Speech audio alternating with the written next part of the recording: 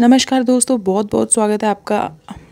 नमस्कार दोस्तों बहुत बहुत स्वागत है आपका हमारी आज के इस वीडियो में। आज हम आपको बताएँगे कि यदि आप सपने में मधुमक्खी का छत्ता देखते हो तो आपका जो है जीवन आ, कैसा रहने वाला है? भगवान आपको क्या संकेत देना चाहते हैं आपके आने वाले जीवन के लिए? दोस्तों सपने में मधुमक्खी देखना विभिन्न अवस्थाओं में आप देख सकते हो। हो सकता है आप कोई छोटा छत्ता देखते हो या बड़ा देखते हो या फिर छत्ते को तोड़ने की कोशिश कर रहे हो या खाली छत्ता देखते हो जिसमें मधुमक्खी ना बैठी हो खाली शहद का छत्ता हो। या देख सकते हैं कि कोई भरा हुआ छत्ता है और बहुत सारी मधुमक्खियाँ उस पर बैठी हैं। तो हम सबसे पहले बात करेंगे,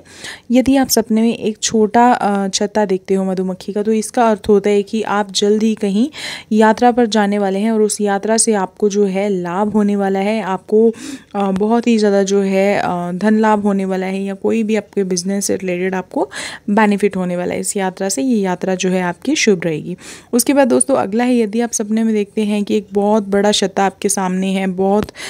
फैला हुआ है या मान लीजिए कैसा भी बहुत बड़ी मतलब कि आपको लगता है कि हाँ ये बड़ा छत्ता था, सपने में जो मैंने देखा तो इसका अर्थ होता है कि आपको व्यापार में जो है तरक्की होने वाली है, आपका बिज़नेस है, कोई भी आप छोटा या बड़ा बिज़नेस करते हैं, आपको कोई बहुत अच्छी डील हाथ लगने वाली है या बहुत ही ज़्यादा मतलब आपका बेनिफिट होने वाला है, व्यापार में आपकी तरक्की होने वाली है, ऐसा सपना देखने पे। उसके बाद दोस्तों, अगला है, यदि आप सपने में देखते हैं कि आपने मधुमक्खी का छत्ता तोड़ दिया है या तोड़ने की कोशिश भी कर रहे हैं। तो ये सपना अच्छा नहीं माना जाता है। ऐसा माना जाता है कि मुसीबत में जो आपके दोस्त हैं, वो आपका साथ छोड़ देंगे और आपको जो है अकेले ही ज़िंदगी में आगे बढ़ना पड़ेगा, जिन पे आप सबसे ज़्यादा भरोसा करते थे, आपकी फैमिली, फ्रेंड्स में, किसी पे भी अगर आप भरोसा करते थे बहुत ज़्यादा तो वो इंसान जल्दी आपका जो है भरोसा तोड़ने वाला है और आपको जो है लाइफ में बहुत अकेलापन महसूस हो सकता है। आप डिप्रेशन की स्थिति में जा सकते हैं, इसलिए आपको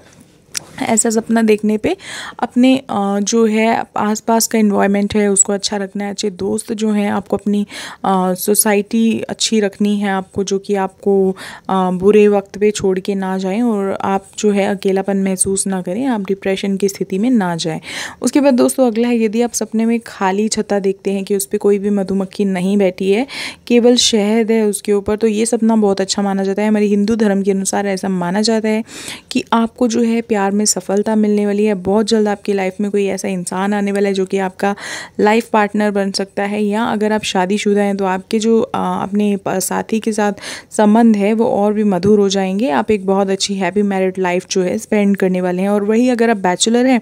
तो ऐसा मान लीजिए कि आपकी लाइफ में कोई ऐसा इंसान आएगा जो कि काफ़ी लंबे समय तक आपके साथ रह सकता है। उसके बाद दोस्तों, अगला है यदि आप सपने में एक भरा हुआ मधुमक्खी का छता देखते हैं कि जो बहुत सारी मधुमक्खियाँ उस पर बैठी हैं तो तो ये सपना भी अच्छा माना जाता है। ऐसा माना जाता है कि आपकी लाइफ में बहुत सारा पैसा जो है आने वाला है, बहुत सारी जो धन संपत्ति है आपको मिलने वाली है, हो सकता है कोई पैतृक संपत्ति जो है आपको मिल जाए। दोस्तों, ये थी मेरी आज की वीडियो अगर आपको हमारी वीडियो पसंद आई है तो don't forget to hit like and do subscribe our channel and please leave a comment कि आपको हमारी वीडियो कैसी लगी और आपको अगली वीडियो में किसके बारे में जानना है, कौन से सपने के बारे में जानना है। धन्यवाद।